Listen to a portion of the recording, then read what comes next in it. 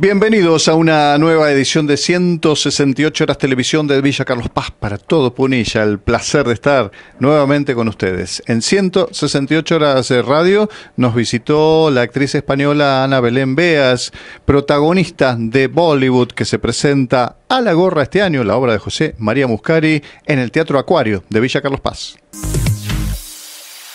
Y esta cosa de, tocar a lo mejor temas profundos, pero desde un humor ácido, ¿no? Entonces, a veces no es fácil desde el espectador darse cuenta de, oye, están hablando en serio, están hablando en broma, ¿cómo es esto? Se están riendo, se están insultando de verdad, ¿no? Pero realmente la obra toca un tema que es, es bastante para mí bastante profundo, a pesar de que se trata muy frívolamente por lo general, que es el tema de la fama. Claro. Eh, tanto en Argentina como en cualquier país, el tema de la fama es un tema muy fuerte porque hay gente que está dispuesta a hacer cualquier cosa, ¿no? Por ser famosa. y hay gente que no, que en la cual me incluyo, que eh, nos gusta, no sé, quizás buscar algún talento, es más una pasión. Para mí subirme a un escenario realmente es una pasión, es mi vida. Y si viene la eh, fama como consecuencia de eso, bienvenido, ¿no? Y si viene la fama como consecuencia, que la he tenido, y la tengo por momentos más, por momentos menos, bienvenido. Pero no es como el fin de decir, bueno, me peleo e invento cualquier cosa con tal de ser famoso, ¿no? Entonces la obra habla un poco de eso, de, hasta qué punto está todo el mundo dispuesto a hacer cualquier cosa por la fama, hasta qué punto la fama es el ordenador de la existencia de la gente o no todo respetable, como yo digo al final de, la obra. Eh, hay gente que quiere ser famosa a costa de lo que sea, yo lo respeto, pero bueno, déjenme a mí también manejarla como, como yo quiero. Y eso lo hace eh, pues, haciendo un paralelo con Bollywood, que es la industria cinematográfica de la India, que hace el doble de películas que Hollywood, que sin embargo se le conoce mucho menos que, a Hollywood. y se le llama la industria sin estrellas porque conoces bueno, a Richard Gere, a Angelina Jolie, no sé, estrellas de Hollywood, pero no conoces ninguna estrella de Bollywood. Entonces hacemos un paralelismo ahí y bueno, la gente que vaya, que tenga paciencia, que vaya con la mente abierta porque hay un humor brutal, la gente se ríe muchísimo, comparando con la India, comparando con aquí, con la farándula argentina, de hecho nombramos y hablamos de todo el mundo. y eh, Diego Martín Rinaldi y yo somos un poco los reyes de este Bollywood que un poco menospreciamos, así entre comillas, desde el personaje obviamente, a estos artistas sin nombre que han venido ahí, que quieren ser famosos a costa de nada. Pero todo eso es con mucho humor, con mucho baile, eh, muy arriba desde el principio. Y bueno, es un espectáculo que desde luego a la gente le estará gustando mucho porque estamos con localidades agotadas prácticamente desde que comenzamos. Entonces va la cosa bien. Claro, seguro. O sea que hoy nosotros tenemos un grupo de, prensa de, todo, de todos los este, periodistas del espectáculo y hoy hablábamos de Pepe Soriano, que es un actor muy conocido aquí en la Argentina, no sé si vos lo conocés, 88 años, sigue de gira, con la humildad con la cual recibe a cada espectador y cuando sale saluda a cada uno. Y, yo ponía esta cuestión de, vos ves a gente que hace 15 minutos que está en la tele y cree que ya es importante y, no saluda a la gente, no da notas, ¿no? Esto de la fama que se le sube a la cabeza. Eh, mira, yo estoy muy sorprendida aquí en Carlos Paz, te voy a decir voy a, cuidar mis palabras porque no quiero meter la pata, porque luego... pero, eh, no sé, yo vengo de una escuela que... Eh, primero que el público es todo para el artista, todo. o sea, yo termino Bollywood, eh, saco a la gente, le agradezco mil veces, no por una pose, sino porque lo siento así. O sea, nosotros estamos ahí arriba gracias a ellos, gracias al público. Me parece que es maravilloso eso y creo que nunca hay que perderlo y luego de repente a lo mejor termina la función y te vas a algunos sitios y ves a, eh, no sé, a alguien que quizás no ha hecho nada de teatro y sin embargo va con cuatro guardaespaldas. Ah, bueno, eso es terrible. Eh, que no te deja acercarte, que dices, pero ¿por qué lleva cuatro guardaespaldas? O sea, ¿por qué se va a sentar solo, cenando solo, con cuatro ahí eh, cuidando el lugar o entra al baño y se quedan los cuatro en la puerta? Ahora vengo de, un, programa de, de chimentos y veo a dos eh, chicas que son muy guapísimas, que podrían estudiar, no sé, que podrían eh, realmente eh, prestarle un poco más atención y valorar un poco más la profesión. Y sin embargo de lo único que están hablando es que se han peleado en una discoteca con otra famosa que les arañó la espalda. No sé es como que está todo un poco no sé. Sí de patas no patas para sí está un poco la cosa y de eso hablamos en Bollywood ¿no? claro. Y en España pasa esto este fenómeno de, de los programas que porque acá la verdad uno ve los programas En este programa nosotros nos gusta hablar del talento de la gente, de la obra, pero es raro. en general se habla de lo que aquí se llama el puterío, ¿no? La, cuestión de que quién se peleó con quién, y eso vende. Uno nunca sabe si es el huevo o la gallina, ¿no? Si es que le dan a la gente eso o la gente quiere consumir eso. ¿En España se da esto? En España está más diferenciado. En España están más las figuras mediáticas que a lo mejor salen de realities de la televisión. Sí, sí. Pero no se mezcla tanto Claro, pero no se mezcla tanto con el teatro. Por ejemplo, en España no sería normal ni es normal que alguien que salga de un gran hermano se ponga a hacer una obra de teatro. es como que no. No cuaja. No, no cuaja. sí, eh, después, bueno, hacen eventos, hacen bolos en discotecas o y van a programas de chimentos, eso sí. Pero que se meten al teatro, no sé, es más complicado verlo. Hay como, está un poco como, más diferenciado. ¿Y, la, y, la y los periodistas o la televisión de espectáculo hablan de los shows o hablan de, la vida privada? No, los, los programas de espectáculos hablan de los shows. Claro. Sí, puramente y duramente de los shows. Es raro, ya te digo, es raro que alguien, yo he hecho mucho teatro en España y sin embargo no soy mediática en España. Claro. O sea, es raro que alguien me pregunte si con quién, quién salgo, es muy raro muy raro. hablas del show, hablas de la obra, es como que está más diferenciado. ¿Y cuando viste acá cómo era, te sorprendió, me imagino? Sí, me sorprende. Eh, lo respeto totalmente, quiero decir, es la idiosincrasia del lugar, eh, gustar así. Eh, pero bueno, me sorprende, estoy aprendiendo también un poco cuando viene a preguntarme. La regla de juego. Claro, hay veces que hemos terminado de Bollywood y ha venido a hacernos un móvil y de repente las preguntas, ¡boom!, son a matar, ¿no? Entonces tienes que estar preparado porque a mí me cuesta un poco más porque no estoy tan acostumbrada a responder así, pero bueno, ahí me voy adaptando. ¿Sabes por qué en Córdoba este no es un verano más? Porque este no es un arroyo más. Este arroyo invita a que la vida fluya. Y este, este no es un momento más, es el nacimiento de un recuerdo. Acá nacen recuerdos a cada rato, todo el tiempo, y viven para siempre. Y se comparten. Como este chori, que más que un chori, es nuestro plato de bandera, ¿me entendés? O este, que no es un aperitivo más. Este es el destilado de nuestra esencia. ¡Qué hermoso! ¡Cuánta belleza! Si acá hay algo que sobra, son bellezas. Y si acá hay algo que no falta, es el descanso. O más que descanso, una bendición. Sí, señores, acá el verano no es un verano así nomás. En Córdoba, el verano es un veranón. Dale, negro, pon el logo.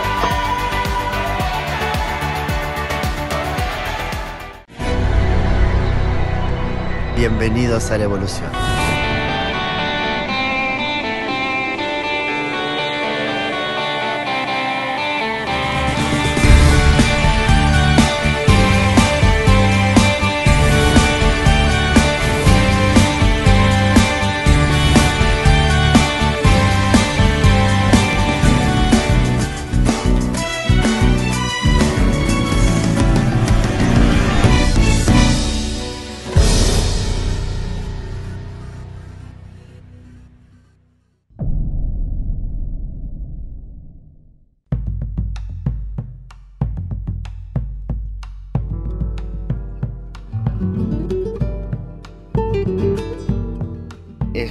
Que los chicos aprendan folclore. Este trabajo se está haciendo con egresados de nuestra Escuela Municipal de Folclore también. Eh, esto es una salida laboral para ellos, ya que ellos van a poder, como maestros instructores también, eh, poder brindar sus actividades. Eh, creo que es, toda una cadena de, situaciones sociales sumamente interesante y que lo podemos hacer con nuestro folclore. También con la Escuela Huanquero estamos haciendo didácticos en las diferentes escuelas donde se acercan eh, los docentes a dar sus clases de cerámica. Yo creo que el folclore en realidad no es solamente la danza, yo creo que, esto nuclea un, gran trabajo y está en el propósito también de, de que otras actividades como la cerámica también vaya a todas las escuelas primarias de, Cosquín. Así que eh, eso se seguirá sumando y creo que es interesante este, este espacio, eh, novedoso y, creemos que va a ser también un gran logro de, nuestra gestión que también las escuelas de cerámica estén presentes en todas las escuelas primarias de Cosquín.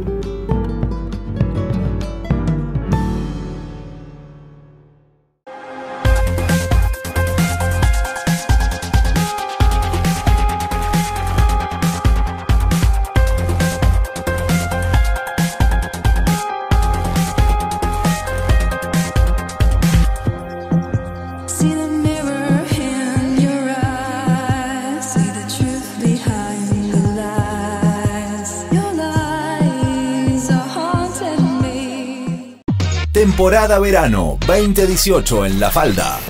Dos meses colmados de música, humor, arte y deportes.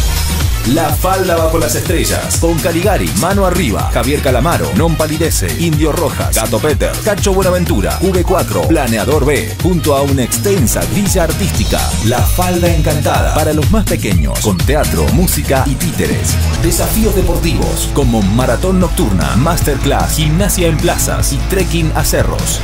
Todo esto y mucho más con peatonal de artistas callejeros, naturaleza y recreación en Complejo Siete Cascadas, junto al potencial de una ciudad que está preparada para que disfrutes a pleno tus vacaciones. La Falda, Ciudad Serrana.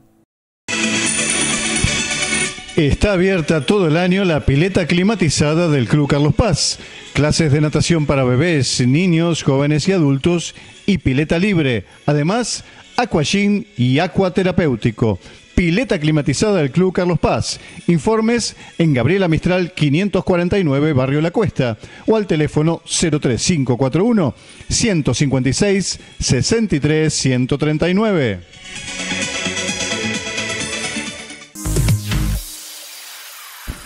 Segunda parte de la entrevista con la actriz española Ana Belén Beas, eh, protagonista de Bollywood en el Teatro Acuario, en Villa Carlos Paz.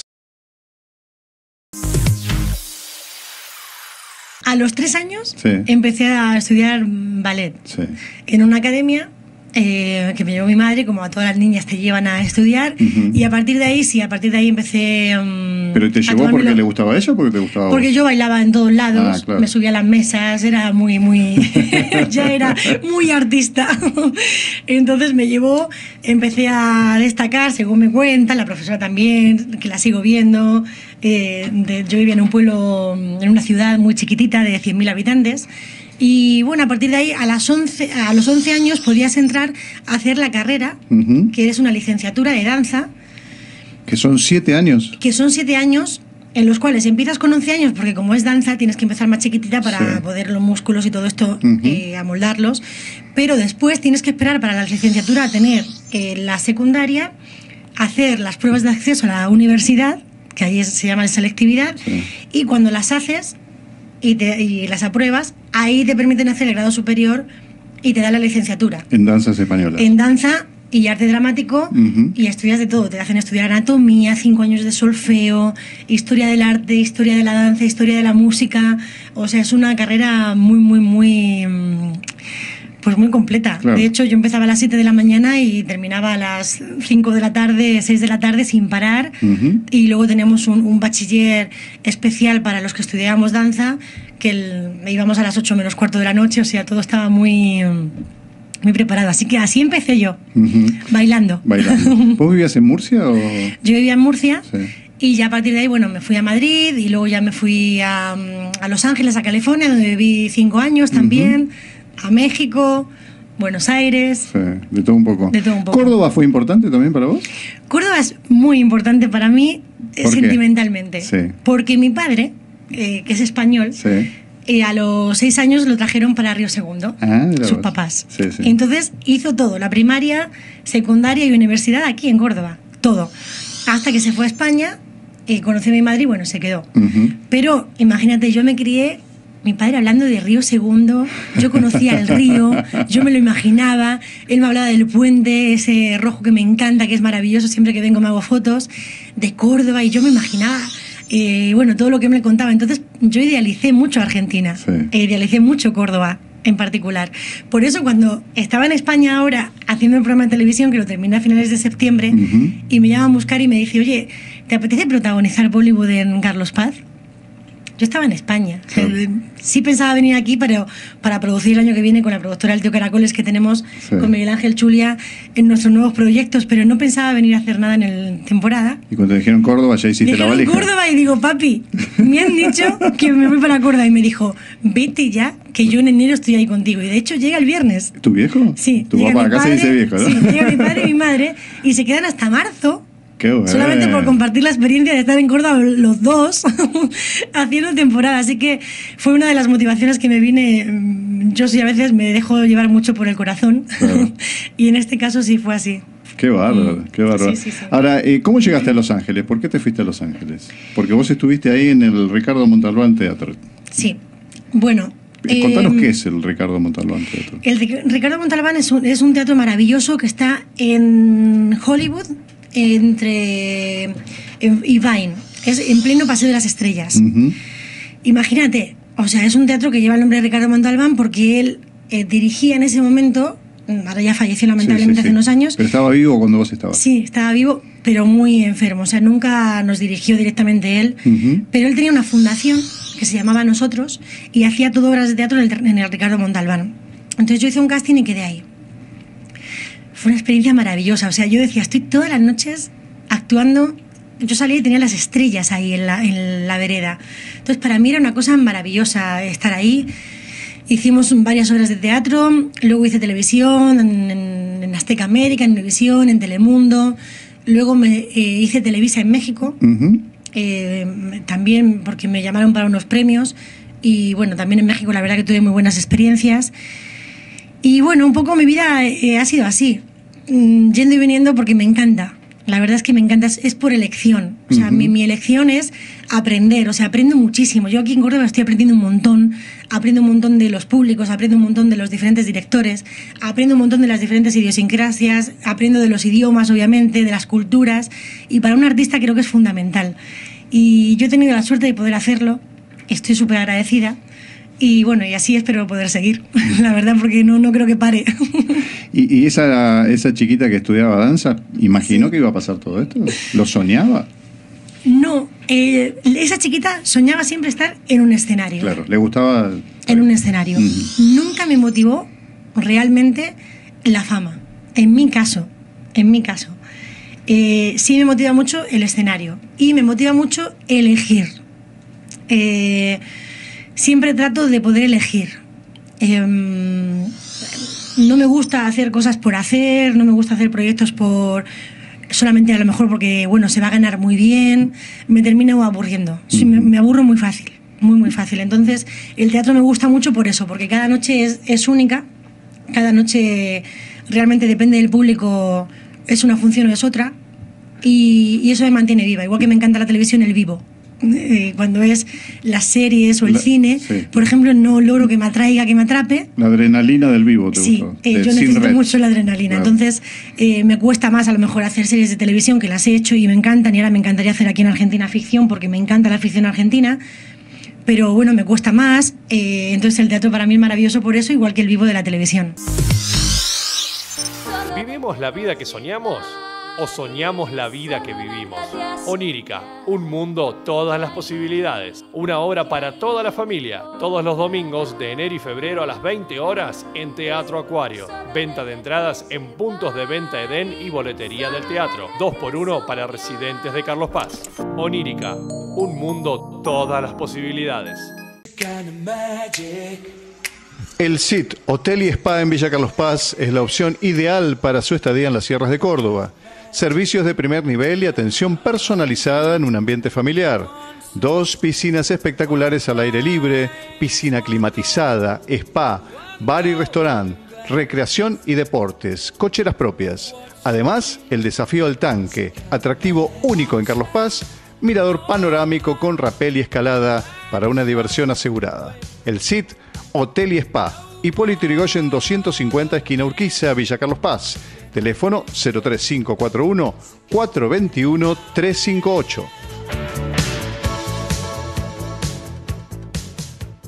Bueno, buenas tardes, soy Germán Luna, asesor comercial de la empresa Renault Tagle y bueno, venimos acá para traerte buenas noticias y para traerte esta información donde vos podés subirte al cero kilómetro que tanto soñás de la mano de Renault Tagle con todos los gastos de retiro incluidos en tu cuota, financiamos el total de tu unidad y vos podés sumarte a nuestra familia de una forma muy sencilla.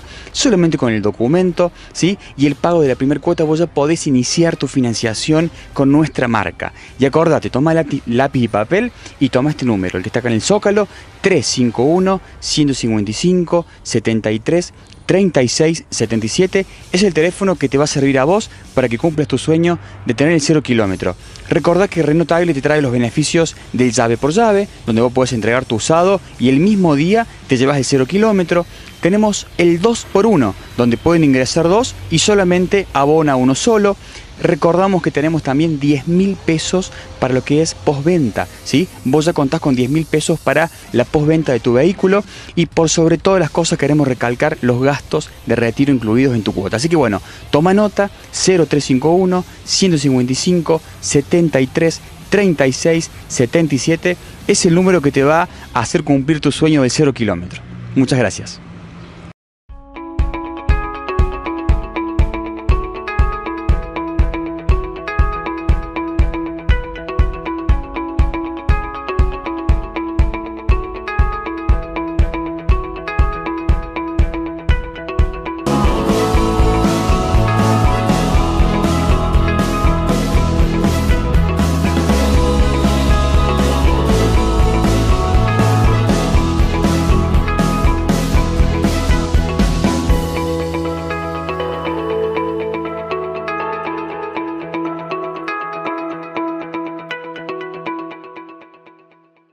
Hotel y Spa Tres Pircas, habitaciones exclusivas, spa con piscina climatizada, sauna, ducha escocesa, hidromasaje, gimnasio completo, salón de eventos, restaurante. Viva una experiencia inolvidable en un marco natural único. Tres Pircas Hotel y Spa. Buenos Aires, esquina Paraná, Huerta Grande, Córdoba.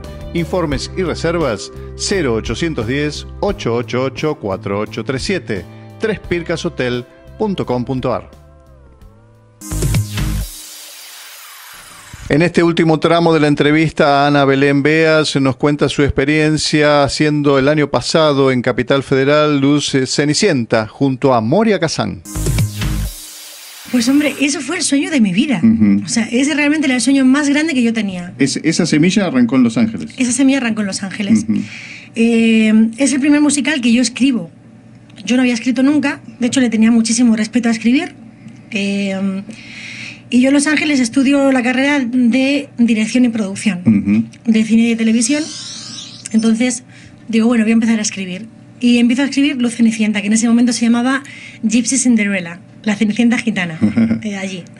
Eh, empiezo a escribirla, eh, me voy a España, preparo toda la producción en España, tengo los productores que me, que me ayudan, tenemos fecha de estreno, empezamos a hacer casi casi que los castings y cuando estoy por empezar a hacer los castings digo, no es lo que soñé. No me gusta cómo está, no es lo que soñé. Entonces me reúno con producción, digo, me van a matar, pero no es lo que soñé, no es. No es. ¿Qué faltaba? La esencia. Faltaba la esencia, faltaba lo que yo quería transmitir, el mensaje, faltaba la, música era maravillosa, pero no, no, no era lo que yo quería. Y llamo sin conocer a Ángel Mahler. Entonces le digo, Ángel, no me conoces, tengo este texto, este libro, esta, este proyecto, lo voy a hacer en España, o sea, quizás no trabajamos juntos, pero yo vi Drácula en uno de los viajes que hice con mis padres aquí, digo, quiero que me des tu opinión. Entonces, Ángel, en la madrugada esa me acuerdo, me despierta y me dice, Ana, no va a ser el siguiente proyecto el que hagamos juntos, tiene que ser este, me dice. Digo, ¿por qué? Porque me encanta, porque tiene un mensaje maravilloso, quiero hacerte la música. Bueno, viajo para Argentina y empezamos a hacer la música. Cuando tenemos la música hecha, digo, bueno, voy a empezar para ir para España y empezar de nuevo con la producción.